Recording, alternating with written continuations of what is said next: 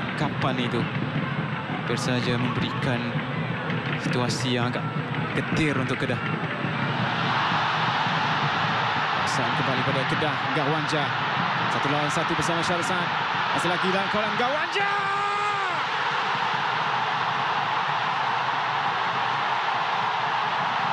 Jaringan yang dicari oleh Kedah akhirnya muncul dari Ronan Gawanja.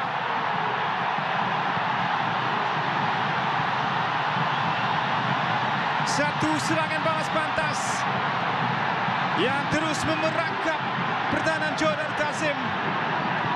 Dan hasilnya Ronan Gawanja dengan satu ledakan di sebelah kanan Farizal Malias untuk memberi kelebihan di minit ke-13 untuk Kedah mendahului satu gol kosong.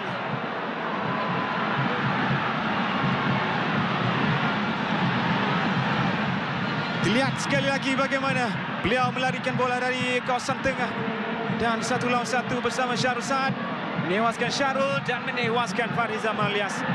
Untuk ledakan di sebelah kanan Fariza dengan satu rempatan lirik. Yang ternyata sekali gagal untuk diselamatkan.